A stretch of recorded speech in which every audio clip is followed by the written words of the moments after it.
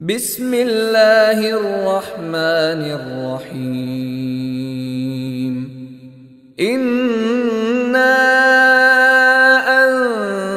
أنزلناه في ليلة القدر وما أدراك ما ليلة القدر ليلة القدر خير من ألف شهر تنزل الملائكة والروح فيها بإذن ربهم من كل أمر. سلام هي حتى مطلع الفجر. السلام عليكم ورحمة الله وبركاته. إن الحمد لله إن الحمد لله نحمده ونستعينه ونؤمن به ونتوكل عليه. ونعوذ بالله من سرور أنفسنا ومن سيئات أعمالنا من يهدي الله فلا مضل له ومن يضلله فلا هادي له وأشهد أن لا إله إلا الله وحده لا شريك له وأشهد أن محمدا عبده ورسوله أما بعد يا أيها الذين آمنوا اتقوا الله حق تقاته ولا تموتن إلا وأنتم مسلمون. فإن أصدق الحديث كتاب الله وهدي هدي محمد صلى الله عليه وسلم وشر الأمور محدثاتها وكل محدثة بدعة وكل بدعة للالة وكل للالة في النار. இல்லாமல்ல அல்லாஹுவின் நல்லடியார்களே ரம்லானுடைய தொடர் சொற்பொழிவு நிகழ்வில் கலந்து கொண்டிருக்கிற நாம் ஒவ்வொரு நாளும் இஸ்லாமிய மார்க்கத்தில் சொல்லப்பட்டிருக்கிற சட்டத்திட்டங்களையும் வரலாறுகளையும் பார்த்து வருகிறோம். அதைத் தொடர்ந்து இந்த நாளில் நபீல் நாயகம் ஸல்லல்லாஹு அலைஹி செல்லும் அவர்கள் கலந்து கொண்ட அதுவும் இஸ்லாமிய வரலாற்றில் மிகவும் முக்கியத்துவம் வாய்ந்த ஒரு போர்க்களமான பத்ருவுடைய போர்க்களத்தை பற்றி நாம் பார்க்க இருக்கிறோம். இதற்காக போர்க்களங்கள் உண்டானது என்பதை முதலில் நாம் தெளிவுபட கடமைப்பட்டிருக்கிறோம். போர்க்களம் என்பது ஒரு மனிதன் தன்னுடைய வாழ்வில் அவன் எந்த நம்பிக்கையை சார்ந்திருக்கிறானோ அந்த நம்பிக்கையை அவன் கடைபிடிப்பதற்கும் அல்லது அவனுடைய வாழ்வாதாரத்திற்கும் வாழ்க்கைக்கும் என்றைக்கு தடை ஏற்படுகிறதோ அப்பொழுது அவன் தன்னை எதிர்ப்பவர்களை எதிர்த்து சண்டையிடுவான். அவர்களோடு கடுமையாக போரிடுவான். அதுதான் போர்க்களம் என்பது. அது அரசியல் சாசனமும் வழங்கியிருக்கிறது. ஏதோ போர்க்களம் என்று சொன்னால் முஸ்லிம்கள் மட்டும்தான் போர்க்களம் செய்கிறார்கள் என்ற அர்த்தம் கிடையாது. ஒவ்வொரு நாடும் ஒவ்வொரு நாடை தாக்கி கொண்டு தான் இருக்கிறது. சில நேரங்களை எதிர்பார்த்தும் காத்து கொண்டும் இருக்கிறார்கள். எதற்காக? அந்த நாட்டை கைப்பற்றுவதற்காக. அந்த நாட்டு மக்களுடைய செல்வங்களை சுரண்டுவதற்காக. ஆனால் இஸ்லாமிய வரலாற்றில் நடந்த போர்க்களங்கள் பிற மனிதர்களுடைய உயிரையும் உடைமையும் பெறுவதற்காக நடந்த போர்க்களங்கள் அல்ல. மாறாக தங்களுடைய வணக்க வழிபாடுகளை நிறைவேற்ற முடியாமல் தங்களுடைய சொந்த ஊரை விட்டு விரட்டி அடிக்கப்பட்டார்கள். துரத்தப்பட்டார்கள். தங்களது செல்வங்களை எல்லாம் எதிரிகள் சுரண்டி கொண்டார்கள். தங்களுடைய குடும்பங்களை எல்லாம் இழந்து நிராகதியாக அந்த ஊரை விட்டு வேறு பகுதிக்கு வேறு நாடுக்கு விரட்டப்படக்கூடிய ஒரு அவல நிலையில் அவர்கள் கையாண்ட ஒரு யுக்தி போர்க்களம். அந்த வகையில் நபீல் நாயம் சுல்லா அலிஸ்லாம் அவர்கள் ரமலானுடைய மாதம் பதினேழாம் நோன்பில் அல்லாஹ்வுடைய தூதர் அவர்கள் பத்ருவுடைய போர்க்களத்திற்கான ஒரு ஆயத்தமாகிறார்கள் இந்த போர் உண்மையில் அதிகமான எதிர்பார்ப்புகளோடு செட்டப்புகளோடு நடந்த ஒரு போர்க்களம் அல்ல. நபீல் நாயம் சல்லா அலிஸ்லம் அவர்களுக்கு ஒரு செய்தி எட்டுகிறது. மக்காவிலிருந்து அபு சுஃபியான் அவர்கள் அபு சுஃபியான் ரலியுல்லா அணுகு இஸ்லாத்துக்கு வந்துட்டார். இந்த சஹாபி மக்காவிலிருந்து மிகப்பெரிய ஒரு வணிக படையோடு மதினாவை கடந்து செல்ல இருக்கிறார்கள் என்கிற ஒரு தகவல் அல்லாஹுடைய தூதர் சல்லா அலிஸ்லம் அவருடைய காதுக்கு வருகிறது. அப்பொழுது நபீல் நாயம் சல்லா அலிஸ்லாம் அவர்கள் கூடியிருந்த அன்சாரி தோழர்களையும் முஹாஜிர்களையும் அழைத்து கேட்கிறார்கள் அருமை தோழர்களே தற்போது நாம் என்ன செய்யலாம்? அப்பொழுது மக்கள் ஒவ்வொருத்தரும் ஒவ்வொரு கருத்தை பதிய வைக்கிறார்கள். அது அதிலையும் குறிப்பாக அபுபக்கர் சித்திக் ரலீலா அணுகவர்களும் இன்னபிற நபித்தோழர்களும் சொல்கிறார்கள் அல்லாஹுடைய தூதரே நாம் இந்த அபு சுஃபியான் அவர்களை முற்றுகையிடலாம். அவர் நம்முடைய சொத்துக்களை எவ்வளவோ சுரண்டி இருக்கிறாங்க. அந்த மக்கள் எல்லாம் நம்மை சொந்த நாட்டை விட்டு விரட்டி இருக்கிறார்கள். இப்பொழுது இறைவன் நமக்கு ஒரு பலத்தை கொடுத்திருக்கிறான். ஆகையினால் இந்த பலத்தை வைத்து அவர்களை முற்றுகையிடுவோம். அவரிடத்தில் இருக்கிற அனைத்தையும் நாம் சிறைபிடிப்போம் என்று ஒரு முடிவெடுக்கிறார்கள் ஒரு கூட்டம். இன்னொரு கூட்டம் என்ன சொல்லுது? அப்படியே அமைதியாக உட்கார்ந்துருக்கிறாங்க.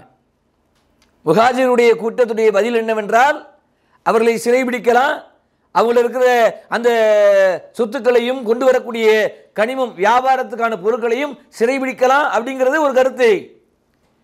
இன்னொரு பக்கம் கருத்து வரல. நபிகள் நாயம் சுல்லா அலிஸ்லாம் அவர்கள் எப்பொழுது எந்த காரியத்தை செய்தாலும் மசூரா செய்வார்கள் என்பதற்கு இது ஒரு அழகிய உதாரணம். மசூரா வேணும் எல்லாத்துலேயும் வேணும். வாசல்ல செருப்பு கழட்டி போடுறோமா? இது எங்க கழட்டி போடலாம் மசூரா பண்ணணும். பள்ளிவாசலை சுத்தம் பண்ணணுமா? மசூரா வேணும். குடும்பத்தை வழி நடத்துகிறோமா வியாபாரம் செய்கிறோமா மசூரா வேணும். முதலாளி தொழிலாளிக்கு மத்தியில் மசூரா வேணும். அதில் யாரும் அமைதியாக இருக்கக்கூடாது என்பதை இந்த செய்தியிலிருந்து நான் புரிந்து கொள்ள முடிகிறது. கருத்தை ஏதாவது கருத்தை சொல்லணும். அதில் நபீல் நாயம் சல்லா அலிஸ்லாம் அவர்கள் முகாஜினுடைய கருத்தை கேட்டுவிட்டு அமைதியாக இருக்கிறார்கள்.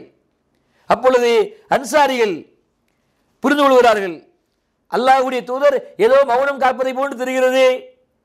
நம்மளிடத்திலிருந்து ஏதோ பதிலை எதிர்பார்க்கிறார் போல என்று அன்சாரிகள் உள்ளத்தால் புரிந்து கொண்ட அவர்கள் அல்லாஹ்வுடைய தூதரை அழைக்கிறார்கள். ஃபொகான சஹீது வபாத ஃபொகால இஸ்ஸவு துவித்து யா ரசூலல்லாஹ். தூதர் ஸல்லல்லாஹு அலிஸ்லம் அவர்களே அன்சாரியாகிய எங்களுடைய கருத்தை தான் நீங்கள் எதிர்பார்க்கின்றீர்களா? அப்பொழுது நபிகளார் கூறினார்கள் ஆம். உடனே அன்சாரி தோழர்கள் பதிலளித்தார்கள் என்ன பதில் தெரியுமா? வல்லதி நப்சிஹி எங்களுடைய உயிர் எவன் கைவசம் இருக்கிறதோ லவ் அமர்த்தன அன் நுகுலில் பகன லாலா நல்ஹனஹா. எங்களுடைய குதிரைகளை அதனுடைய பிடரியில் அடித்து நடு கடலுக்கு மத்தியில் நீங்கள் எங்களை செல்ல வேண்டும் என்று ஆணையிட்டால் செல்ல தயார். அல்லது உனது அமர்த்தன எங்களது குதிரைகளை நாங்கள் ஓட்டிக்கொண்டு அந்நசீப அஹ்ரபத்த இலா பர்கில் கிர்மாத் பர்குல் ஹிமாத் என்கிற அந்த பகுதி வரைக்கும் எங்களுடைய குதிரையின் பிடரியில் அடித்து நாங்கள் ஓட்டிச் செல்ல வேண்டும் என்று சொன்னால் அல்லாஹ்வுடைய தூதரே அதற்கும் நாங்கள் தயார். நாங்கள் இங்கே உங்களிடத்துல ஆலோசனை சொல்ல உட்கார்ந்து இருக்கல கருத்து சொல்ல உட்கார்ந்து இருக்கல உங்களையும் கட்டளைக்காக காத்திருக்கிறோம். கட்டளையிடுங்கள் அல்லாவுடைய தூதருக்கு அப்படியே அப்போதான் உத்வேகம் வருகிறது. ஆனால் இறைவன் ஒரு செய்தியை அறிவித்து விட்டான்.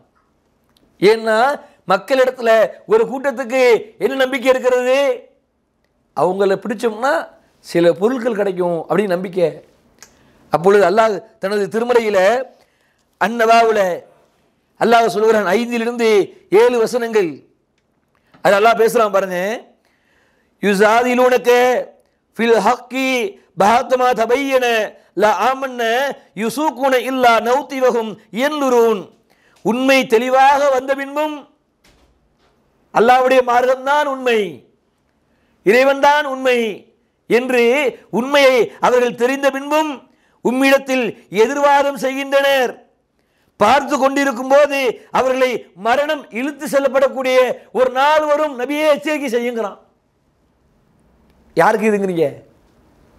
மக்கள்லேயே வாப்பா போருக்கு போகலாம் அப்படின்னா போர் வேணான்னு யார் பின்வாங்குகிறார்களோ அவர்களை எல்லாம் எச்சரிக்கிறான். சத்தியம் இதுதான் தெரியும்ல அல்லாவுடைய பாதையில் உன் உயர் தியாகம் பண்ணணும்னு உனக்கு விளங்கும்ல? பிறகு என்ன உனக்கு தயக்கம்? உடனே அடுத்த சொல்கிறான் இதா எய்துக்குமுல்லாஹ் இஹ்தத்து தாயிஃபத்தின் அன்னஹாலகும் ஓ தவத்தூன அன்னா ஹைரி ஜாத்தி சௌகத்தி தகூனு லகுன் உங்கள ரெண்டு கூட்டத்தினர் ஒருவருக்கு ஒருவர் முரண்படுகிறார்கள். ஒரு கூட்டம் சொல்லுகிறது போருக்கு போகலாம்னு. ஒரு கூட்டம் சொல்லுது இல்லை வரி மறிக்கிறான்னு சொல்லுது. நபியே இறைவன் போருக்கு போகிற கூட்டத்தையே நேசிக்கிறான். அதை முன்னெடுத்துக்கங்கிறான். அல்லாஹ் தூதர் இன்னும் தெளிவாகிவிட்டார்கள். வேறு வழி இல்லை. போருக்கு சென்றாக வேண்டும். சரி போர்னா சாதாரண ஒண்ணா? நம்ம பயானுக்கு வர்ற மாதிரியா? போர் என்பது அதனால தாங்க அல்லாஹ் சகிது கொடுத்தான் அதுக்கு. சகிதுங்கிற அந்தஸ்து இருக்குதே. அது என்ன நினைக்கிறிய? சாதாரண அந்தஸ்தா அது? நேற்று தினம் கூட நம்ம அதை பார்த்தோம். சொர்க்கத்தில் தனி தரசா அல்லாஹ் தரான்னு சொன்னால் அது எவ்வளோ பெரிய உயர்ந்த அந்தஸ்து? உண்மையில் அது ஒரு மனிதன் உயிரை தியாகம் செய்வது என்பது அல்லாவிற்காகவே முன்னிறுத்திய ஒரு செயல். உயிரை விடுறது. இது அவன் கொடுத்த உயிர் அவனுக்காக நான் எடுக்கிறேன் விட்டுறேன். அதனால தான் அல்லாஹ் இந்த போர்க்களத்தில் கலந்து கொள்பவர்களை கடுமையாக நேசிக்கிறான். அதன் காரணத்தினால் அவர்களுடைய பாவங்கள் அனைத்தையும் மன்னிக்கிறான். உடனே அல்லாவுடைய சுரலா அலிஸ்லாம் அவர்கள் திட்டமிட்டுகிறார்கள். சரி வேறு வழி இல்லை நம்ம கிளம்பியாகணும் அப்படின்னு சொல்லி பத்ருவுடைய அந்த இடத்துக்கு வந்து விடுகிறார்கள். பத்ரு என்பது ஒரு மலைக்குன்றுக்கு அருகில் இருக்கிற ஒரு பகுதி. மதினாவுக்கும் மக்காவுக்கும் நடுவில் போர் செய்வதற்கு வணிக வியாபாரிகள் வரக்கூடிய இடத்தை தடுத்து நிறுத்துவதற்கு தண்ணீர் இருக்கிற இடம். இது என்ன நம்ம கவனிக்கணும் தெரியுமா? ஒவ்வொன்றிலையும் நமக்கு சில குழு இருக்குது. நல்லா அறிவிச்சு கொடுக்குறோம் நீங்கள் போருன்னு போனீங்க அப்படின்னா எங்கே தேர்ந்தெடுக்கணும் தெரியுமா? முதலில் நீங்கள் போய் எங்கே தண்ணீர் இருக்கிறதோ அந்த இடத்த ஆக்கிரமிப்பு பண்ணுங்க. ஏன்? சாப்பாடு இல்லாமல் கூட இருந்துடலாம் தண்ணி இல்லாமல் இருக்க முடியாது. நீங்கள் போருக்கு போகணும் முடிவாயிடுச்சா? எதிரி வர்றதுக்குள்ள நீ முதல்ல போய் எங்கே தண்ணீர் இருக்குதோ அந்த இடத்தை ஆக்கிரமிப்பு பண்ணு. எப்படியும் அவன் தண்ணீரை தேடி வரணும். உனக்கு அங்க அல்லாஹ் அருளை வழங்கியிருக்கிறான். உனக்கு ஒரு தைரியம் கிடைக்கும் உணவு கிடைக்கும் ஒரு வேக உத்வேகம் இருக்கும். தயாராயிரு. அல்லாவோட தூதர் தயாராகிட்டாங்க ஆனால் இங்கேருந்து செய்தி போயிடுச்சு. உளவு செய்தி போயிடுச்சு. மக்காவுக்கு அபு சுஃபியானையும் அவருடைய கூட்டத்தையும் இந்த முகமது சல்லா அலிஸ்லமுடைய கூட்டம் சிறைபிடிக்க இருக்கிறது என்று தகவல் போன உடனேயே அபுஜகல் அங்கிருந்து பெரும் படையை திரட்டி கொண்டு அல்லாவுடைய துதரை தார்ப்பதற்கு அவனும் தயாராகிறான் அது வரைக்கும் போர் நிலைமையே கிடையாது. முற்றுகை தான் பிடிக்கிறது தான் சிறைபிடிக்கிறது தான் இந்த பிளான் தான். ஆனால் ரசுல்லாவுக்கு காதில் தகவல் வந்துருச்சு. இல்லை இல்லை நீங்கள் தயாராவதை தாண்டி அவர்கள் தயாராகி விட்டார்கள் சரி போர் ஆர்வம் ஆயிடுச்சு என்னென்ன நம்மள்கிட்ட இருக்குன்னு நல்லா தூதர்கள் அப்பொழுதுதான் திட்டம் திட்டுகிறார்கள். சுற்றி பார்க்கிறார்கள். பார்த்தா அந்த பத்ருவுடைய இடத்துல இருந்து கொஞ்சம் தூரம் போனால் தான் போர் நடக்கும். அந்த ஸ்பாட்டுக்கு போகணும். அல்லாஹ்வுடைய தூதர் இடத்தில் இருந்த வாகனங்கள் மொத்தம் முஸ்லீம்கள் கலந்து கொண்ட எண்ணிக்கை முன்னூற்றி பத்தொன்பது சில அதிசுகள் வருகிறது முன்னூறுக்கும் கொஞ்சம் அதிகமாக அசுசுல்லாஸ்லம் பார்க்குறாங்க இருக்கிற ஒட்டகம் என்ன? ஒரு ஒட்டகத்துக்கு மூணு பேர் ஏறி உட்காரணும். அப்போ அல்லாவிடத்தில் குறிப்பிடுறாங்க. ரெண்டு பேர் ஏறி உட்காந்துக்கங்க ஒருத்தவங்க அதை அப்படியே பிடிச்சிக்கிட்டு வாங்க. பிறகு அந்த ரெண்டு பேரில் ஒருத்தர் கீழே இறங்கட்டும். கீழே பிடிச்சிக்கிட்டு இருந்தவர் மேலே ஏறுங்க. இப்படியே மாறி மாறி நீங்கள் பயணம் செய்து வந்து சேருங்கிறாங்க அப்பொழுது இறை தூதருக்கும் அதே விதிதான். அலி அலில்லா அவர்களும் நபி அல்லாயம் சல்லா அவர்களும் அவர்களோடு சேர்ந்த இன்னொரு நபித்தோழர் இந்த மூணு பேரும் ரசூசுல்லாஸ் என்ன பண்ணுறாங்கன்னா அவங்களுக்கான அந்த லிஸ்ட்டில் சேர்க்குறாங்க. நீங்கள் மூணு பேரும் நம்ம உருவாகணும் அப்படின்னு.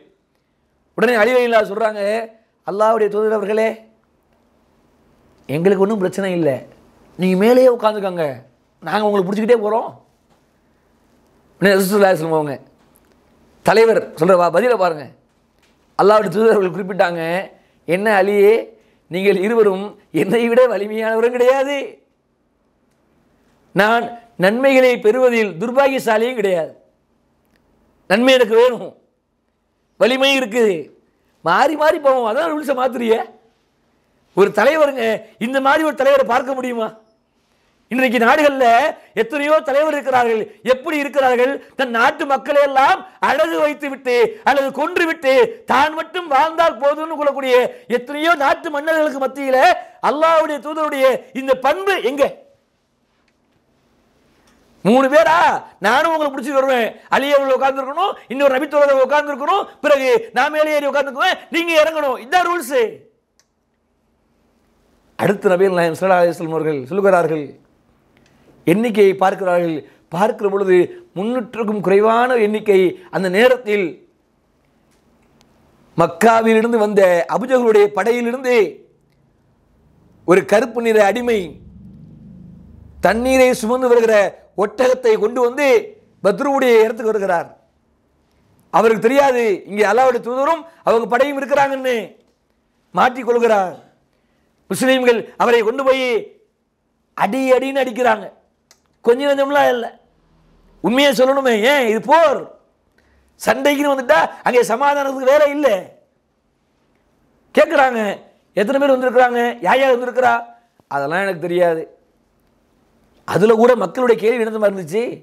அபுசுஃபியார் எங்கே வராரு? அபுசுஃபியார் எங்கே வராரு? அல்லாஹ்வுடைய தூதரவர்கள் தொழுது கொண்டிருக்கிறார்கள். அந்த கருப்பு நிற மனிதனுடைய பேர் என்ன அப்படின்னா ஹஜ்ஜாஜ் குலத்தை சார்ந்த கருப்பு நிற மனிதர். அவர் என்ன பண்ணுறாரு ஒரே வார்த்தையை சொல்லிட்டே இருக்கார். திரும்ப திரும்ப.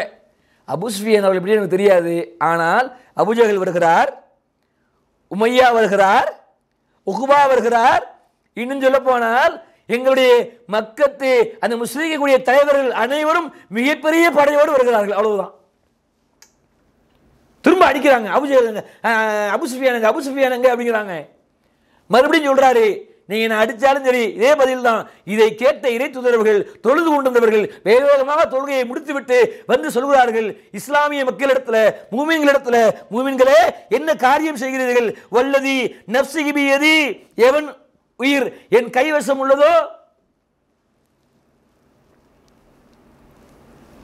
என்ன குறிப்பிடுறாங்கன்னா எவனுடைய உயிர் என்னுடைய உயிர் எவன் கைவசம் உள்ளதோ அல்லாவிட இருக்குது. அதை குறிப்பிடுறாங்க. அவன் மீது ஆணையாக சொல்லுகிறார்கள் இதா சதக்கக்கும் தருத்து இதா கசாபகும். அவர்கள் உண்மையை சொன்னால் அமைதியாக இருக்கிறீர்கள். பொய்யை சொன்னால் அடிக்கிறீர்கள். அவர் தான் உண்மையை சொல்றாரு. அபு சுஃபியாரை பற்றி எனக்கு தெரியாது. அபுஜகல் வராருன்னு அதை யோசிங்க.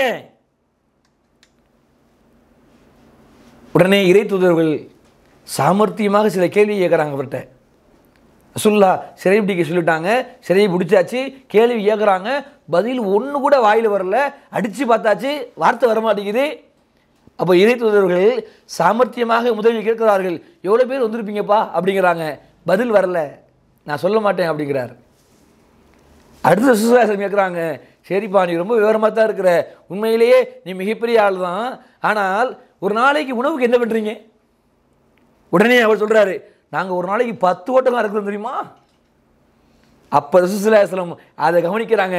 பத்து என்றால் ஒரு ஒட்டகம் என்பது நூறு பேருக்குமான உணவு பத்து ஒட்டகம் என்றால் ஆயிரம் பேர் அங்கே வந்திருக்கிறார்கள்.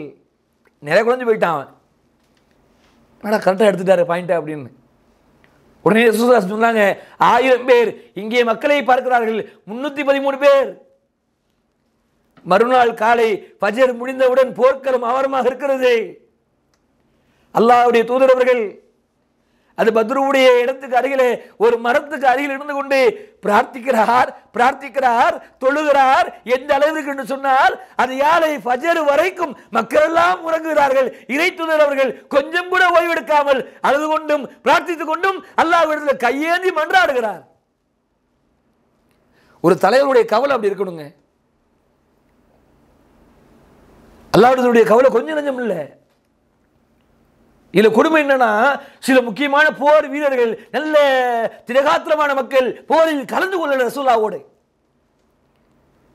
அதுல முக்கியமான ஒருத்தர் யாரு? காபின் மாலிக் ரலீலானு அவர்கள். நல்ல ஒரு போர் வீரர் தான். அவர் கலந்து கொள்ள முடியல. ஏன் கலந்து கொள்ள முடியல என்று சொன்னால் இவர்கள் மதினாவிலிருந்து கிளம்புகிற பொழுது போருக்காக கிளம்பல. சிறைபிடிக்க தான் போனாங்க. அதனால அவர் உள்ளூரில் பொருளாதாரத்தில் கொஞ்சம் நல்ல ஒரு அபிவிருத்தியான ஆள். அதை பார்த்துக்கிட்டு அமைதியாக இருந்துட்டார். அது மேலே குற்றம் ஆகாது. ஏன்? போருக்காக வரல வேற ஒரு செயலுக்காக வந்தோம். போரா மாறிடுச்சு. அடுத்து உஸ்மான் ரலீலானு அவர்கள் அவர்களும் கலந்து கொள்ளல. அவர் ஏன் கலந்து கொள்ளல தெரியுமா? நபிகள் நாயம் ஸல்லல்லாஹு அவர்களுடைய அன்பு மகள் ருகையா ரலியுல்லா அன்ஹா அவர்கள் நோய்வாய்ப்பட்டிருந்தார்கள். அவர்களுக்கு பணிவிடை செய்தார்கள். பணிவிடை செய்தார்கள். எது வரைக்கும் தெரியுமா? மிலி உஸ்மான் ரலியல்லாஹு ஒரு மிகப்பெரிய ஒரு மனிதர் தான். நல்ல ஒரு உதாரணம் அவர் இடத்துல இருக்கிறது. தன் மனைவியை பார்த்து கொண்டார். எந்த அளவிற்கு என்று சொன்னால் அவருடைய மரணம் வருகிற வரைக்கும் ரொம்ப காலம். பக்கத்தில் உட்காந்து மருத்துவம் பார்த்துக்கிட்டு பணிவிடை செஞ்சுக்கிட்டு நம்ம இருப்போமாங்க அப்படி நமக்கு வெறுல பொற நான் வேலைக்கு போனால் தான் காசு அப்படி நம்ம நினைப்போம். ஆனால் உஸ்மான் அலி இடத்துல அழகிய முன்னுதாரணம் இருக்கிறது தன் மனைவிக்கு அவர் செய்த பணிவிடை. அதாவது அவர்கள் குறிப்பிட்டார்கள் உஸ்மான் அவர்கள் போருக்கு வராவிட்டாலும் அவர்களுக்கான இந்த போரில் என்னென்ன கனிமத்து கிடைக்கிறதோ போருக்கு இறைவன் தருகிற பரிசும் அவருக்கு உண்டு. அடுத்து யாரு? அனஸ் நலூர் நலுர் அவர்கள்.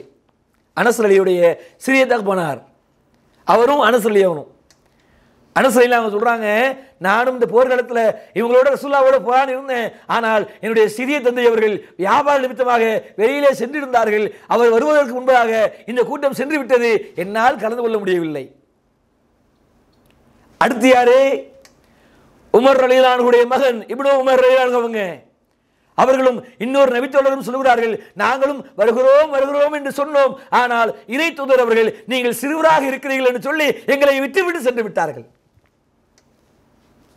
ஆர்வம் அப்படி இருக்கணும். நம்ம பிள்ளைகளுக்கு என்ன வளர்த்துருக்குறோம்?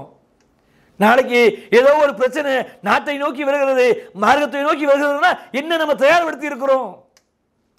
ஒன்றும் இல்லையே. அடுத்து நபீல் நாயம் சல்லா அலிஸ்லாம் அவர்கள் இன்னும் ரெண்டு பேரை ஹுதைவா ரலீலா அணுக அவர்களும் அவர்களோடு சேர்ந்த அல்யமான் என்ற அலிலா அவர்களும் ரெண்டு பேர்.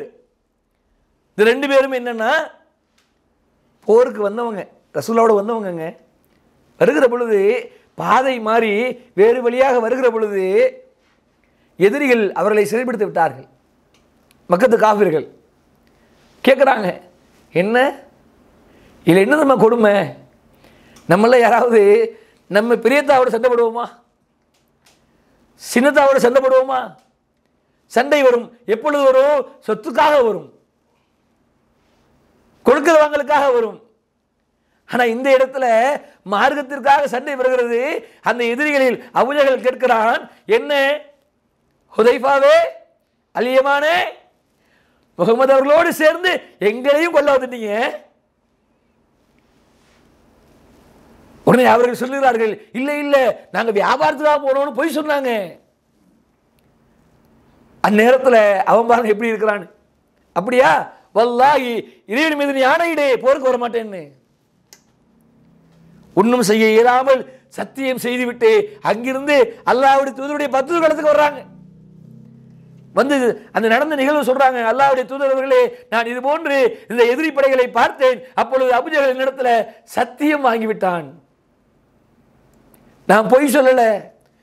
உங்களுடைய சபைக்கு எப்படியாவது வந்துடணுங்கிறதுக்காக அவனிடத்தில் தப்பிப்பதற்காக வியாபார ரீதியாக வந்தேன் என்று கூறினேன். அதற்கு அவன் அப்படி என்றால் போர்க்களத்திற்கு நீ வரக்கூடாது என்று சத்தியம் வாங்கிவிட்டான். அப்பொழுது நபீல் நாயம் சல்லா அலிஸ்லம் குறிப்பிடுவார்கள் பரவாயில்லை. இதெல்லாம் எப்படி சொல்லுவோம்னு தெரியலைங்க. நம்ம என்ன பண்ணுவோம்? ஏ பிளான் போட்டாச்சு. எதுக்காக போயிட்டு இருக்கிறோம் நீ பாட்டுக்கு இந்த சத்தியம் பண்ணேங்கிற அது பண்ணேங்கிற உடம்பு சரியில்லைங்கிற வாப்பா அம்மாவுக்கு அது இதுங்கிற போய்த்தான் ஆகணும். அப்படி நம்ம நிற்போம். அல்லாவுடைய தூதர்களுக்கு தெரிந்து விட்டது அங்கே ஆயிரம் இங்கே முந்நூற்றி பத்தொம்போது பத்தொம்போது ரெண்டு குறைஞ்சிச்சுனா ரெண்டாக இருந்தாலும் ஒரு பலம் தானே? அதிலும் நல்ல சகாபாக்கள் கூட. நபிகளார் குறிப்பிட்டார்கள் அக்பர்னாஹு ஹபர ஃபக்கீல அன்சாரி ஃபி நஃப்சிலகும் பி அதுவும் வனஸ்தீனுல் அலேஹிம் அவர்களுக்கு அல்லாஹ் உதவிட்டான் அவங்களுடைய விஷயத்தில் உதவிச்சிட்டாங்க இருக்கட்டும் இன்ஷா அல்லாஹ் அவர்களுக்கு நாம் கொடுத்த வாக்குறுதியை நிறைவேற்றுவோம் போருக்கு நீங்கள் வர வேணாம் போங்க வீட்டுக்கு அந்த ரெண்டு பேரும் கவலையோடு திரும்புகிறார்கள் அந்நேரத்தில் நபிகள் நாயம் சல்லா அலிஸ்லாம் அவர்கள் இந்த சூழ்நிலையெல்லாம் தெரிந்த பிறகு உதவி இயக்கணுங்க நம்ம சிரமத்தில் யார்கிட்ட உதவி கேட்போம்? கடுமையான ஒரு கஷ்டம். அதுவும் இந்த சூழலுங்கிறது சாதாரண சூழல் நல்லா புரிந்துக்கணும். அல்லாவிடத்தில் தூதர் செய்த பிரார்த்தனையிலேயே இந்த கூட்டம் யார் என்பதை நமக்கு மிகப்பெரிய அறிவுறுத்தல். இப்பொழுது நாம் இங்கே தொழுது கொண்டிருக்கிறோம் வணங்கி கொண்டிருக்கிறோம் அல்லாவை புகழுகிறோம் மார்க்கத்தை பேசுகிறோம் என்று சொன்னால் அன்றைக்கு இறை தூதர் செய்த அந்த பிரார்த்தனை தான் காரணம்.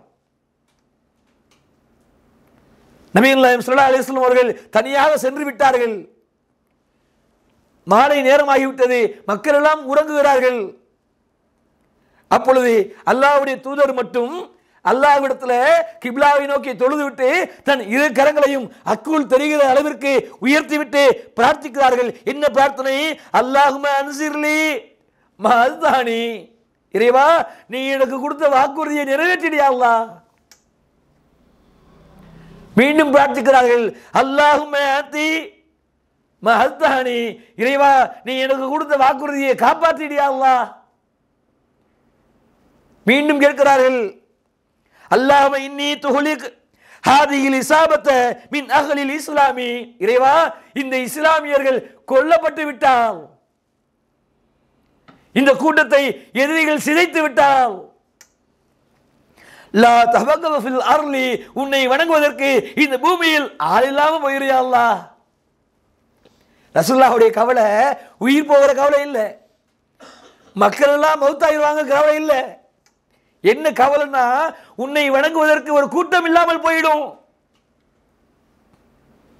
கேட்கிறார்கள் கேட்கிறார்கள்.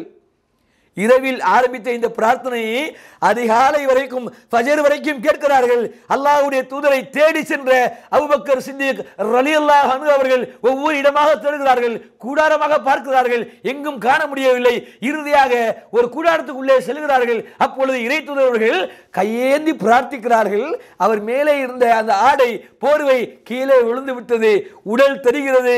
அது கூட தெரியாத அளவிற்கு இறை தூதரவர்கள் அழுது அழுது பிரார்த்திக்கிறார்கள். பார்த்து அபுபக்கர் சித்திக் ரயிலானுங்கவங்க வேகமாக ஓடி போய் துணியை எடுத்து மேலே போத்தி கட்டி முடிச்சு அழுகிறாங்க அல்லாவுடைய தூதரே நீங்கள் எவ்வளவு கேட்க வேண்டுமோ அவ்வளவு கேட்டு விட்டீர்கள். இன்னையும் கேட்குறீங்க நீங்கள் எவ்வளவு அழ வேண்டுமோ அவ்வளவு அழந்து விட்டீர்கள். அல்லாஹ் நமக்கு இந்த களத்தில் வெற்றியை கொடுப்பான். வாருங்கள். கொஞ்சம் அப்படி கற்பனை பண்ணி பாருங்களேன். எந்த மாதிரியான சுச்சுவேஷன் அது? நம்ம வீடுகளில் யாருக்காவது ஒரு நோய்வாய்ப்பட்டு ஆஸ்பத்திரியில் ஆப்ரேஷனு உயிருக்கு போராடுறாங்க ஹார்ட் சர்ஜரி கிட்னி டிரான்ஸ்பிளண்ட்டு ஏதாவது ஒரு விஷயம்னா கூட அந்த விஷயம் முடிஞ்சு நல்லா இருக்காருன்னு சொல்கிற வரைக்குமே துடிச்சு போயிடுறோம். இங்கே அப்படி இல்லை. எதிரி ஆயிரம் பேர் இங்கே முந்நூறு ஒருத்தர் மூணு பேரை சமாளிக்கணுமே. ஆனால் அவன் ஃபுல் பிளானோட வர்றான் ஆயுதங்களோட வர்றான் இங்கே ஆயுதங்களும் இல்லையே. அவன் குதிரைப்படையோடு வருவான். இங்கே குதிரைகளும் இல்லையே. அவன் ஒட்டகங்களை மிகைக்க வருவான். இங்கே ஒட்டகமும் இல்லையே. அவன் உணவு முட்டைகளோடு வருவான். இங்கே உணவும் இல்லையே. வெறும் அவர்களை சிறைபிடிக்கலாம் என்று சொன்ன ஒற்றை வார்த்தைக்காக வந்த கூட்டம் இது. ஒரு வேலை தோற்றுவிட்டால் ஒரு மனுஷனுடைய கவலை அப்படிதாங்க இருக்கணும். நம்ம கவலையெல்லாம் நம்முடைய பற்றி நம் வாழ்க்கையை பற்றி நம்முடைய சொத்துக்களை பற்றி தான் இருக்குது. என்னைக்காவது நாம் நம்முடைய மருமையை பற்றி கவலைப்பட்டிருப்போமா? அல்லாவை வணங்கும் விஷயத்தில் கவலைப்பட்டிருப்போமா? யாருலா எனக்கு நீ ஒரு நோயை கொடுத்துட்டா நான் சொல்லாம போயிருவேன் யாருலா அப்படி கவலைப்பட்டிருப்போமா? அல்லாவுடைய பிரார்த்திக்கிறார்கள் இறைவா இந்த இஸ்லாமியர்கள் கொல்லப்பட்டு விட்டால் உன்னை வணங்குவதற்கு ஆள் இல்லையா அல்லா வாய்ப்பே இல்லைங்க. இப்படிலாம் ஒரு மனிதர் எப்படி அந்நேரத்தில் இப்படி ஒரு பிரார்த்தனை அவர் எங்க உயிரை காப்பாத்திரியா அப்படி கேட்கல. நாங்க ஜெயிச்சாதானே உன்னை வணங்க முடியும். உன்னை வணங்குறதுக்கு ஒரு கூட்டம் இருக்கணும். இந்த கொள்கை உலகம் முழுக்க போய் சேரணும். நீதான் உதவி செய்யணும் அல்லா அப்ப அல்லாஹ் என்ன பண்ண தெரியுமா? ஒரு மழையை கொடுத்தான். ரகமத்தை அருளுகிறான். மழை பெய்கிறது. சகாபாக்கள் எல்லாம் குளிர்கிறார்கள். அல்ஹம்துலில்லா அல்லாஹ் அருள்மழையை பொழுது விட்டான். பேச்சு வருகிறது. அப்பொழுது இறை தூதர்களுக்கு சுருக்கமான ஒரு சின்ன தூக்கங்க. அந்த தூக்கத்துடைய அளவுலாம் சொல்லப்படலை. அவ்வளவு அழுதழுத ஒரு இறை தூதர்கள் கொஞ்சம் ஓய்வு எடுக்க போக சொல்லி அவங்க சித்திக்கு அவங்க ஒரு இடத்துல அமர்த்திட்டு நீங்கள் கொஞ்சம் ஓய்வு எடுங்க வந்துடுறோம்னு சொல்லிட்டு போயிட்டு வர்ற கேப்பில் ஒரு சின்ன உறக்கம். அதெல்லாம் குறிப்பிடுகிறான். நபியே அந்த சிறு தூக்கம் உங்களுக்கு பெரும் நிம்மதி அளித்தது. நைட்டு ஃபுல்லாக தூங்கல நைட்டு ஃபுல்லாக அழுதுகிட்டே இருந்தீங்க. களத்துக்கு போகணும். போகும்பொழுது நமக்கு கண்ணு சொருவோம் உடம்புல திரகாத்தம் இருக்காது. உடல் உறுப்புகள் எல்லாம் அப்படியே தொய்ந்து போகிற மாதிரி இருக்கும். அதனால சிறு தூக்கத்தை அல்லாஹ் சொல்லுகிறான் உங்களுக்கு பெருண்மதி அளித்தது. களம் ஆரம்பமாகிறது. இறை தூதர்கள் கூடியிருந்த மக்களை எல்லாம் அழைத்து சென்று களத்திலே நிற்கிறார்கள் எதிரியும் நிற்கிறார்கள். இதில் எப்படி சண்டை வருது? அதை பாருங்களேன். உங்கள் கையில் ஆயுதத்தை கொடுத்து இதோ உங்கள் அப்பா நிற்கிறாரு உங்கள் பெரியத்தா நிற்கிறாங்க உங்கள் சின்னத்தா நிற்கிறாங்க அதை வெட்டிட்டு வாப்பா அப்படின்னா எவ்வளவோ சண்டையாக இருக்கட்டுமேங்க. அவர்களுக்கு எதிராக ஆயுதத்தை தூக்குகிற ஒரு தைரியம் நமக்கு வருமா? என்ன இருந்தாலும் அந்த இடத்துல போய் எப்படிப்பா அவங்களை வெட்டுறது? அப்படிதான் இருக்கும். ஆனால் முஸ்லீம்களுக்கு கூட அந்த எண்ணம் இருந்தது எதிரிகளுக்கு அந்த எண்ணம் இல்லை. அவங்களுக்கு ஒரே எண்ணம் தான் லாத்து உசாவை காப்பாற்றணும் அதனால போ அப்படின்னு திட்டம் திட்டுகிறார்கள். அப்பொழுது ஆட்களை அனுப்புறாங்க பாருங்க. சண்டைன்னா நம்ம நினச்சிட்டு இருக்கிறோம். அப்படியே அந்த பக்கம் கூட்டம் ஓடி வரும் இங்கே கூட்டம் ஓடி வரும்னு. அப்படி போர் ஆரம்பிக்காது. போர் எப்படி ஆரம்பிக்கும்னா முதலில் எதிரி இடத்துல கேட்பாங்க உங்களில் யார் முதல்ல வர்றது? அப்படிம்பாங்க. அவங்களில் தைரியமான ஒரு மூணு பேரை அனுப்பி வைப்பாங்க. அப்போ ரசூல் சல்லா அலிஸ்லமும் இஸ்லாமிய படையும் இங்கேருந்து ஒரு மூணு பேர் அனுப்புவாங்க.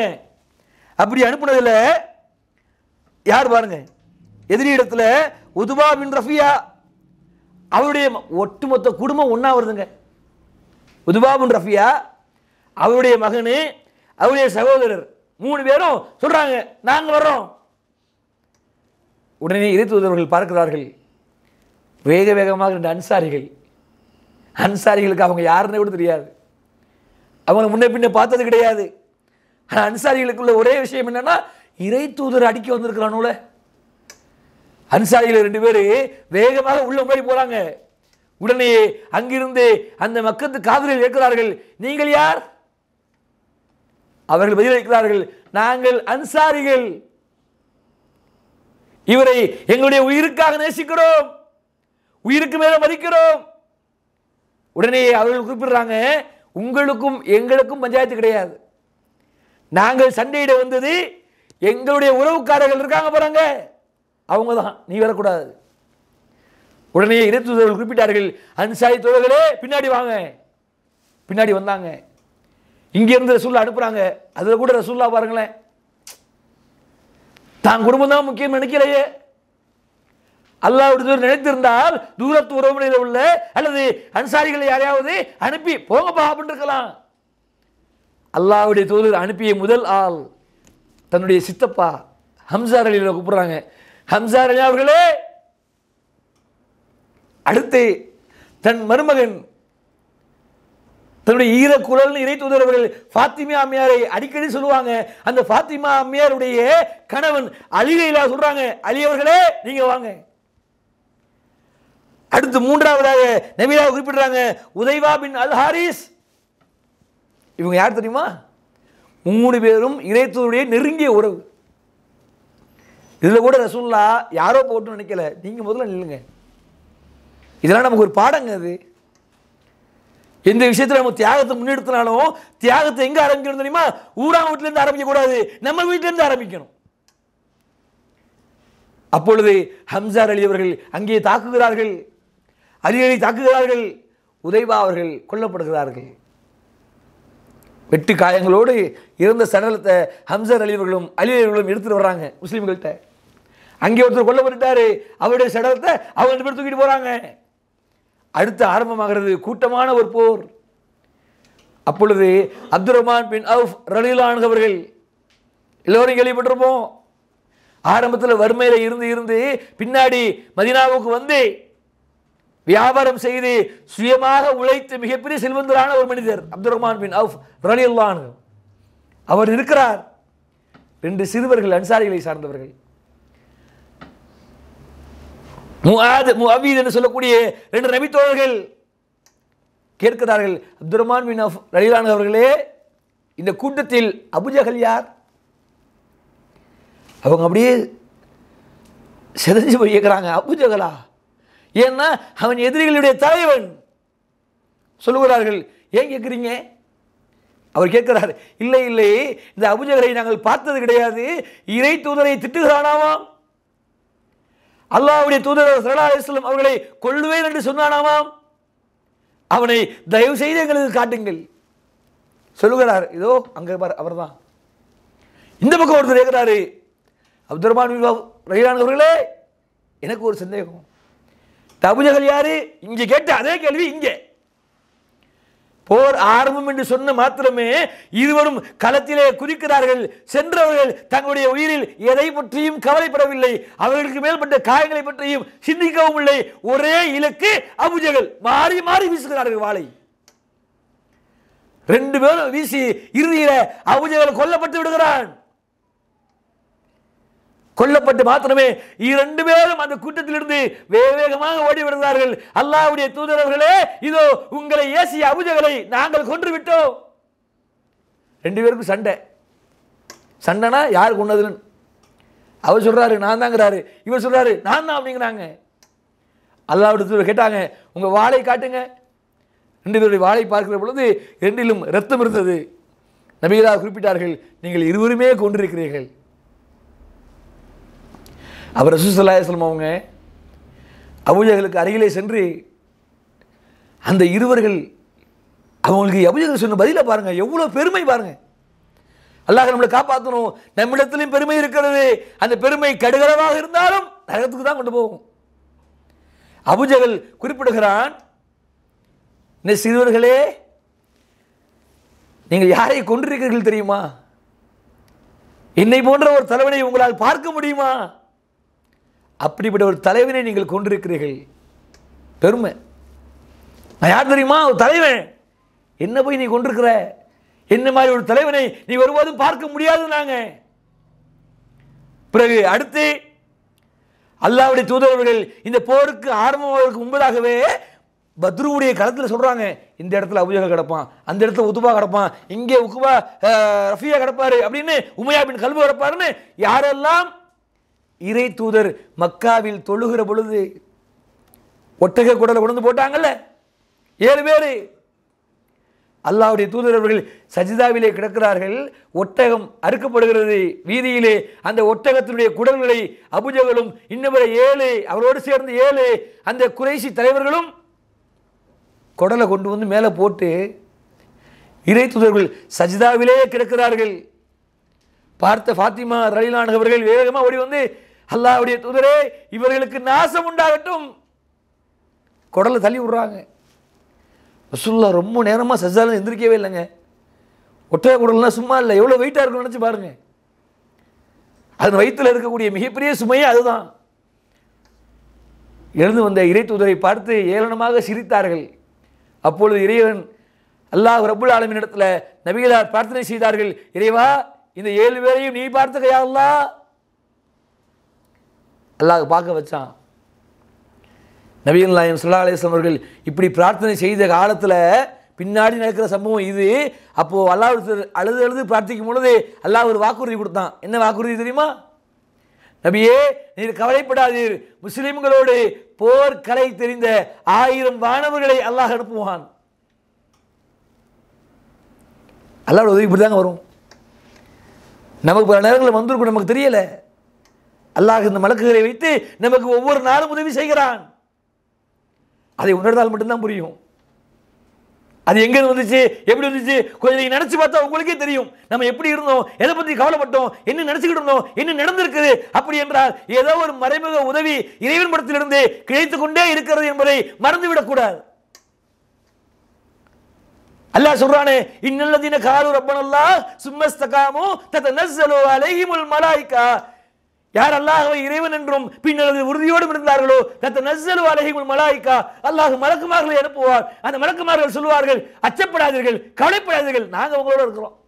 எல்லாம் அனுப்பியிருக்கோம் அதில் ஒரு அனுசாரி குறிப்பிடுகிறார் நான் என்னை ஒரு எதிரி துரத்தி கொண்டு வந்தார். நான் இன்னொருவை துரத்தி கொண்டு சென்று கொண்டிருந்தேன். சென்று கொண்டிருக்கும் பொழுது ஹுக்கும் ஹொக்கும் என்கிற ஒரு சத்தம் கிட்டது என்ன என்று பார்த்தேன் முன்னால் சென்ற எதிரி கீழே கிடந்தான். எப்படி கிடந்தான் தெரியுமா? அவன் முகம் கிழிக்கப்பட்டு பச்சை கருமாக மாறிவிட்டது. அடிச்ச அடி எப்படி அவருக்கு ஒண்ணுமே விளங்கலை நான் வாழை வீசவும் இல்லை சாட்டை எடுக்கவும் இல்லை ஆனால் எனக்கு முன்னாடி கீழே விழுந்து கிடக்கிறாரே எப்படி என்று அச்சத்தில் வேக வேகமாக போர்க்களம் நடந்து கொண்டிருக்கும் பொழுது இறை தூதரிடத்தில் ஓடி வருகிறார்கள். அல்லாவுடைய தூதரே ஒரு நிகழ்வு நடந்தது. நான் ஒரு விரட்டி சென்றேன். அப்பொழுது எனக்கு முன்னதாக ஒரு சப்தம் கேட்டது. அவர் அடித்த அடியில் அவர் முகம் சிதைந்து கீழே மண்டு இறந்து கிடந்தார் அப்ப ரசூலுல்லாஹி சொன்ன வார்த்தை இருக்கு பாருங்க. குறிப்பிடுறாங்க எல்லா புகழும் இறைவனுக்கே. இறைவன் எந்த வாக்குறுதியை நமக்கு கொடுத்தானோ அந்த வாக்குறுதியை நிறைவேற்றி விட்டார் வானவர்களும் இந்த களத்திலே இறங்கி விட்டார்கள் அடுத்த பூஸ்ட் பார்த்துக்குவோம் பார்த்தா ஒவ்வொரு சகாபாக்களும் சொல்றாங்க எப்போ நான் ஓடுறேன். எனக்கு முன்னாடி ஒரு சுருண்டு விழுவுறான். என்னன்னு பார்த்தா முகம் கிளியுது தாடை கிளியுது உடம்பு கிளியுது கண்ணில் பார்த்தவங்களுக்கு எப்படி இருக்குங்க? நமக்கு இந்த செய்தியா? இதை கேள்விப்படும் பொழுது நம்மால் ஜீரணிக்க முடியல. இப்படிலாம் நடக்குமா? அல்லாவுடைய உதவி இப்படியும் வருமா? பார்த்த அந்த நபி தோழர்கள் எப்படி இருப்பார்கள்? அதனால்தான் இறைவன் கூட குறிப்பிட்டான். அவருடைய நம்பிக்கையை பற்றி குறிப்பிடுகிற பொழுது ரலி அல்லாஹ் வரலுவான். அவர்கள் அல்லாஹுவை பொருந்து கொண்டார்கள். நானும் அவர்களை பொருந்து கொண்டேன். இறுதியில எதிரிகள் எழுபது பேர் கொல்லப்பட்டார்கள். ஆயிரத்தில் எழுபது காலி. மீதி தொள்ளாயிரத்தி முப்பது கிளம்பிடுச்சு ஓடிடுச்சு. சிறை பிடிச்சிட்டு இருந்த மக்கள் நிற்கிறாங்க அப்போ ரசூசல்லா அலுவலம் அவர்கள் நம்மளில் இறந்தவங்களாம் தூக்குங்கிறாங்க. அந்த போர்க்களம் முடிந்த ஒரு நிகழ்வு. அன்னை ஆயிஷாமி அறிவிக்கிறாங்க. ஹாரிசா பின் சுராக்கா ரலில்லாஹன் ஒரு நபித்தோழர் சிறுவர் அவர் அந்த போர்க்களத்தில் உயிரிழந்துடுறார். அவங்க தாய் என் மகன் வருவான் வருவான்னு காத்துக்கிட்டு இருந்தாங்க. வரலை. மக்கள் எல்லாம் திரும்பி வந்து விட்டார்கள். அப்பொழுது அந்த தாய் கடுமையான அழுகை கவலை. என்ன இருந்தாலும் பத்து மாதம் பெற்று எடுத்துருக்கிறாங்களே. அல்லாவுடைய பாதை தான் அல்லாவுடைய பாதையில் கொல்லப்பட்டதுக்காக இந்த தாயாவது சிரிப்பாளா? சிரிக்க முடியுமா? அவர்கள் அழுது கொண்டிருந்த நிகழ்வு இறை தூதருக்கும் காதுக்கு வருகிறதே. இறுதியில் அந்த பெண்மணி நபீரா இடத்தில் வருகிறார்கள் ஹாரிசா பின் சுராக்கா ரலிலானுடைய தாய். அல்லாஹுடைய தூதர் அவர்களே என் மகனுடைய இறப்பு செய்தியை நான் கேள்விப்பட்டேன். இருந்தாலும் என்னால் அழுகையை கட்டுப்படுத்த முடியல. நான் அவனை அளவு கடந்து நேசிக்கிறேன். ஆகையினால் அவனுடைய நிலை மறுமையில் எப்படி இருக்கும் என்று சொன்னால் நான் கொஞ்சம் சாந்தி அடைந்து விடுவேன். இறைத்தூதர் குறிப்பிடுறாங்க அல்லாஹ் உனது மகனுக்கு ஜன்னத்துள் ஃபிர்தோசை வழங்கியிருக்கிறான். உயர்தரமான சொர்க்கம். அந்த சொர்க்கத்திலே உமது மகனை அல்லாஹ் குடியமர்த்து விட்டான். கவலைப்படாதீர்கள். உடனே அந்த தாய் தன்னுடைய அழகையெல்லாம் அடக்கி கொண்டு மனதில் ஆறுதலோடு அல்ஹம்துலில்லா இது போதும் அல்லாவுடைய தூதரே. என் மகனுடைய நிலை என்னவாக இருக்கும் நான் கவலைப்பட்டு இருந்தேன். நான் பொருந்திக் கொள்கிறேன். போறாங்க. இன்னொரு நபித்துவர் வருகிறார். இறந்து போனவங்களுடைய குடும்பம் வருது. கடுமையான அழுக குடும்பமே ஓடி வருது. பார்த்தா அவருடைய உடலை சின்ன விதமாக சிதைச்சிட்டாங்க. இறைத்துவர் குறிப்பிட்டாங்க. யாரும் அழுகையின் பொழுது ஒப்பாரி வைத்து விடாதீர்கள். ஏன்னா அப்படித்தான் அழுகை இருக்கும். பெண்களோட அழுகை எப்படி இருக்கும்? இன்னைக்கு நம்முடைய பெண்கள் நிலைமை அப்படித்தானே இருக்குது? ஒப்பாரி வைப்பது மார்க்கத்தின் ஒரு பாவம். இது சொன்னாங்க அமைதியாக இருங்க. அல்லாஹ் அவர்களை பொருந்தி இருக்கிறான். அவர் உயர்தரமான சூழ்நிலத்தில் இருப்பார். நீங்கள் அழுது அவருக்கு தீங்கு வச்சிடாதீங்க உங்களுக்கு கவலை ஏற்படுத்தலாம். கவலை வரலாம். மாற்று கருத்து இல்லை. ஆனால் ஒப்பாரி வச்சிடாதீங்கன்னாங்க அடுத்து ரசூசலாயம் அவங்க இறந்து போன எதிரிகள் உம்மையா உக்குபா அதுபோல் அபூஜகலு எல்லாத்தையும் இறைத்துதவர்கள் ஒரு இடத்துல கொண்டு வர சொல்கிறாங்க பள்ளத்தாக்கு. கொண்டு போடுறாங்க. தூக்கி ஒவ்வொருத்தரையும் வீசி எரிகிறாங்க எரிகிற பொழுது இறை தூதரவர்கள் போரில் ஒரு வழிமுறை இருக்குங்க. அதையும் நம்ம தெரிஞ்சுக்கணும். இறை தூதர் எந்த இடத்தில் எந்த போர்க்களத்தில் வெற்றி பெற்றாலும் போர் முடிந்து மூன்று நாட்கள் அங்கே தங்குவாங்களாம். அந்த படை திரும்ப போகாது. மூணு நாள் வரைக்கும் அந்த படை அங்கேயே இருக்கும். அப்பொழுது இணைத்துதவர்கள் ஒட்டகத்தை எல்லாம் கிளப்புகிறார்கள். கிளப்பி விட்டு செல்லுகிற பொழுது மக்கள் பின்னாடியே செல்கிறார்கள். சரி வேற எங்கேயோ போகிறாங்கன்னு பார்த்தா இறைத்துதரவர்கள் எந்த இடத்தில் இந்த ஏழு பேரையும் புதைக்க சொன்னார்களோ அந்த இடத்தில் இறைத்துதவர்கள் நின்று கொண்டு சொன்னார்கள். என்னப்பா? நான் உங்களிடத்தில் சொன்ன அந்த எச்சரிக்கையை பார்த்து விட்டீர்களா? உமர் ரலீன் அவர்கள் இருக்கிறார்கள் அல்லாவுடைய தூதரே இறந்தவர்கள் செவியேற்பார்களா? உடனே இருந்ததை குறிப்பிடுறாங்க. இல்லை இல்லை நான் என்ன சொன்னேனோ அதை அவர் உணர்வார்கள். அல்லாவுக்கு மாறு செய்யாத அல்லாவுக்கு இணை வைக்காத அவன் உன்னை கண்காணித்துக் கொண்டிருக்கிறான். ஒவ்வொரு தருணங்களிலும் நீ செய்த பாவத்திற்கு அவனிடத்துல தண்டனை வழங்கப்படுவாயின்னு எவ்வளவோ அறிவுரை வழங்கப்பட்டிருக்கும். அந்த அறிவுரை இறந்த உடனேயே அல்லாஹ் கபரில் வைத்த உடனேயே தருகிற முதல் வேதனை கபர் வேதனை. பார்ப்பாங்கிறாங்க சொல்லலாம் ஆயிஷா அழகான விளக்கம் கொடுத்தாங்க. இன்றைக்கெல்லாம் தர்கா தரிக்காவாதிகளுக்கு மிகப்பெரிய ச- ஒரு சவுக்கடி அதுதான். சந்தேகம் வரும் சகாபாக்களுக்கு. அப்போ இறந்தவங்களுக்கு காது இயக்குமோ ஆயிஷா அந்த இடத்துல குறிப்பிடுகிறார்கள். இறந்தவர்களை ஒருபோதும் செவியேற்க செய்ய முடியாது என்ற குரான் ஆயத்தை எடுத்து வைக்கிறாங்க. அப்போ தான் அந்த கூட்டம் நம்புது. ஓகே கரெக்டு அசுசுல்லாசலம் அங்கிருந்து கிளம்பி வருகிறார்கள். வர்ற வழியிலேயே சில பேச்சுவார்த்தைகள் நடக்கிறது கனிமத்து பொருள் விஷயத்தில். அதுக்கு ரசூலா தீர்வை கொடுத்துட்டாங்க. அடுத்து பேச்சுவார்த்தை வருது. இந்த எழுபது பேரை என்ன பண்ணுறது பிணை கதியாக பிடிச்சிட்டு எழுபது பேரை. ஆயிரத்தில் எழுபது கொல்லப்பட்டுருச்சு. எழுபது பிணை கைதி நூற்றி நாற்பதா மீதி தான் போயிருக்கு ஊருக்கு. அப்போ ரசூசுல்லா அலிஸ்லாம் அவங்க சொல்கிறாங்க ஒவ்வொருத்தர்ட்டையும் ஆலோசனை கேட்குறாங்க அதில் மூத்தவர் யார் அப்படின்னா அவுபக்கு சிதிக்கு ரயில் அவங்க. நம்மளாம் மறந்துடக்கூடாதுங்க அவங்களுக்காகவும் துவா செய்யணும். நீங்கள் இது இஸ்லாம் இந்த அளவுக்கு வந்திருக்கு அப்படின்னா அந்த நபித்தருடைய தியாகத்துக்கெல்லாம் இல்லாமலாம் ஒன்றும் இல்லை இங்கே. இறைத்தூதர்கள் பல தருணங்களில் குறிப்பிடுகிற பொழுது சில நேரங்களில் உமர் ரயிலானு அவர்கள் அவ்வகர் சிதி ரயிலானவர்களை ஏசி விட்ட பொழுது மன்னிக்க மாட்டேன்னு சொன்ன பொழுது இறைத்தூதர் சொன்ன வார்த்தை என்ன தெரியுமா? இந்த அவுபக்கர் இருக்கிறாரே ஒட்டுமொத்த மக்கள் அனைவருமே நான் பொய்யர் என்று சொல்லுகிற பொழுது என்னை உண்மைப்படுத்தியவர். என்னுடைய தோழர் இந்த அவுபக்கர் நீங்கள் மன்னிக்க மாட்டீங்களா? அவர் தவறு செஞ்சால் கூட எனக்காக நீங்கள் மன்னிச்சிருக்கேன்னாங்க ரசூல்லா கேட்குறாங்க அவுபக்கர் அவர்கள்ட்ட என்ன பண்ணலாம்? அவர் சொல்கிறார் அல்லாவுடைய தூதரை இவர்கள்லாம் யார்? நம்ம கூட இருந்தவங்க தானே. அவங்க அதிசல சொல்கிற வார்த்தை பெரியத்தா சின்னதா பிள்ளைங்க. பெரியத்தா சின்னதா பிள்ளைங்க தாங்க சண்டை போட்டது யாரு? பிணைகிறது யாருன்னா எல்லாம் இப்படி தான் ரிலேஷன் பிளட் ரிலேஷன் தான். அப்போ ரசூல்லாசன் சொல்கிறாங்க அபுபக்கர் சொன்ன அதே கருத்து ரசூல்லாவுக்கும் எத்து வருது. என்ன எத்து வருது? அவங்கள ஏதாவது பிணை தொகை வாங்கி விட்டுடலாம் அப்படின்னு. உமர் ரலிலா அவங்கள்ட்ட அடுத்த கேள்வி போகுது. ஏன்னா அடுத்து அப்படியே லை வயலில் போகும். என்ன கருத்து கேட்கப்படும்? உமர் ரலிலா கேட்குறாங்க அல்லாவுடைய தூதரே ஒருபோதும் அந்த காரியத்தை பண்ணிடாதீங்க. இவர் கருத்தை தானே சொல்லணும். என்ன சொல்கிறாரு பாருங்கள் தயவு செஞ்சு அந்த கருத்தை மட்டும் செஞ்சிடாதீங்க. ஃபஸ்ட்டு லாஜிக் அங்கே அடிக்கிறாரு. அடிச்சது சொல்கிறாரு நான் ஏன் கருத்து என்ன தெரியுமா? இந்தா அலி அலி அவருடைய சின்னத்தை பிரித்தாங்க நிற்கிறார் பாருங்க. அவர் அவர் கையில் கொடுங்க. கையில் வாழால் தலையை வெட்டுட்டோம். நான் இருக்கிறேன். என் குலத்தை சார்ந்து வந்திருக்கிறான் அங்கே இருக்கிறான். அவன் வரட்டும். அவங்களுக்கு நான் இருக்கிறேன். இப்படி ஒவ்வொருத்தருமே அவங்கவுங்க குலத்தார்கள் அவங்கவுங்க உறவுக்காரர்கள் அவங்கவுங்க கருத்தை எடுத்தோம்னா கதை சரியாக இருக்கும் அப்படின்னாங்க. நமக்கு எப்படி தெரியுது? ரொம்ப கொடூரக்காரராக இருப்பார் போல. சொன்ன மாத்திரமே இறை தூதரவர்களுக்கு ஒரு மாதிரி ஆயிடுச்சு. என்னப்பா அடித்து கொல்லுவோம். ரசூல்லா அவர் பேசிக்கவே அப்படி ஆள் கிடையாதுங்க. இறை தூதரை பொறுத்தவரையில் இறக்கமான மனுஷன்தான். ஆனால் போர்க்களம் வரும்பொழுது என்ன பண்ணுறது அப்படி மாறினவருங்க உமர் பொறுத்தவரைக்கும் பொறுத்த வரைக்கும் சொல்கிற ஒரே கருத்து ஏன் சொந்தக்காரனை நான் வெட்டுறேன் ஓன் சொந்தக்காரனை நீ வெட்டு இவரை இவர் வெட்டட்டும் நம்மளை கொல்லணும்னு வந்துட்டான். நம்மளை கொல்ல மட்டும் வரல இஸ்லாத்தை அழிக்க வந்திருக்கிறான். என்ன நினச்சிட்டு இருக்கிறீங்க நீங்கள் அப்படிங்கிறாரு.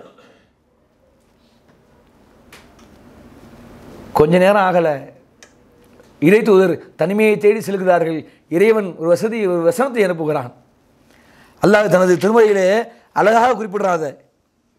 என்ன அப்படின்னா அல்லாஹ் சொல்லுகிறான் நபியே அவர்கள் யார் என்று நீ அறிவீதா அல்லாவுடைய மார்க்கத்தை அழிக்க வந்த இடத்துல சமரசம் செய்கிறீர்களா? ஒருபோதும் அவரிடத்தில் சமரசம் கிடையாது. இந்த வசனம் அருளப்பட்ட உடனே அவர்களை பழி தீர்ப்பது தான் சரியான தீர்வுன்னு சொன்ன உடனே இறை தூதர் சொல்லா அலேஸ்லம் அவர்கள் அவுபக்கர் சித்திக் ரயிலா வீட்டுக்கு போகிறாங்க அவுபக்கரே நீங்கள் சொன்ன கருத்துக்கும் நான் சொன்ன கருத்துக்கும் அல்லாஹ் மாற்றமாக ஒரு செய்தியை சொல்லியிருக்கிறான். இறைவன் விரும்பாத ஒரு கருத்தை நீங்களும் நானும் சொல்லிவிட்டோம் சொல்லி ரெண்டு பேரும் தங்களது திண்ணையில் உட்கார்ந்து அழுது கொண்டிருக்கிறார்கள். இரவு நேரத்தில் உமர் அடியிலானவங்க எங்கே ரெண்டு பேரையும் காணாமே? அப்படின்னு வெளியில் வந்து ஒரு தேடி பார்க்குறாரு. பார்க்கிற பொழுது ரெண்டு பேரும் உட்கார்ந்து ஒரு அருகே அருகே அமர்ந்து கொண்டு அழுது கொண்டிருக்கும் பொழுது உமர் அடியில் இயக்குறார்கள் அல்லாவுடைய தூதரவர்களே அவ்வக்கர் சித்திக் அடியிலானவர்களே ரெண்டு பேரும் அழுகிறீங்க. ஏன் அழுகிறீங்கன்னு தெரியல. ஆனால் ஒருவேளை நீங்கள் அழுகிற காரணம் தெரிந்தால் நானும் அழுவேன் தானே? அப்பொழுது நபிலா குறிப்பிட்டார்கள் இல்லை இல்லை உமரே உம்முடைய நாவில் இறைவன் பேசுகிறான். நீங்கள் சொன்ன கருத்தை தான் அல்லாவும் சொல்லுகிறான் அப்போ கூட உமர் அலி சந்தோஷப்படல கவலைப்பட்டார். ரசூல் உமரடியோட கவலை என்னன்னா ரசுல்லாவுடைய கருத்துக்கு மாற்றமாக பேசுகிறோமேன்னு அவர் கவலை. அல்லாஹ் என்ன சொல்கிறான் அவர் சொன்ன கருத்து தான் சரிங்கிறான். இறுதியில் எல்லாம் ஃபைசல் ஆயிடுது. இந்த போர்க்களம் அடுத்த ஒரு போர்க்களத்துக்கு ஆரம்பத்திலேயே தயாராகிறது. அந்த போர்க்களம் எது? அந்த போர்க்களத்தில் ஏற்பட்ட விளைவுகள் என்ன? என்பதை இன்ஷா அல்லாஹ் நாளை பார்ப்போம். வாகிருதவான ரபில் ஆலமீன். அஸ்ஸலாமு அலைக்கும் வரமத்துல்லாஹி கத்துவோம்